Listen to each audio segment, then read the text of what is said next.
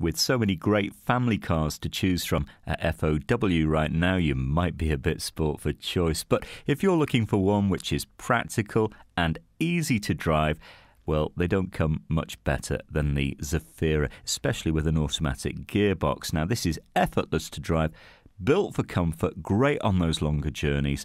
And this one from 2008 really does look as good as new. You have a 1.9 diesel engine up front, it's that very nice engine pretty quick off the mark. I think it'll do 0 to 60 in about 10 seconds, so very much a driver's car.